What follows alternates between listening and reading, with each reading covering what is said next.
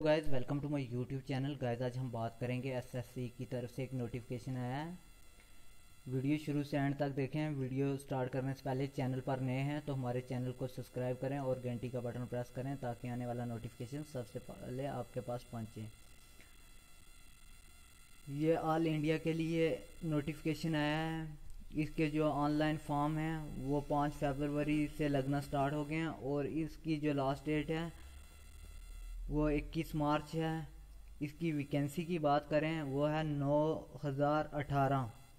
और एज की बात करें तो इसकी एज है अठारह से पच्चीस साल।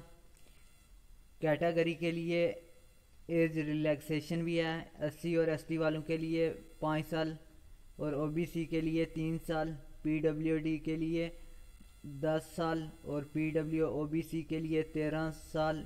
P W D S C S T वालों के लिए पंद्रह साल ई एक्स सर्विस मैन के लिए तीन साल, और उसके बाद आपके जो क्वालिफ़िकेशन है वो टेंथ होनी चाहिए। और उसके बाद इसके जो फॉर्म लगने वाले हैं, उसकी फ़ी है हंड्रेड, और उसके लिए आपको साथ में क्या चाहिए, आधार कार्ड, एक पासपोर्ट साइज़ फ़ोटो, और आपका अपना सिग्नेचर चाहिए। तो गए, इसके लिए जो आपका सेंटर होने वाला है, वो जे के में ही रहेगा आपका, जहाँ के हो।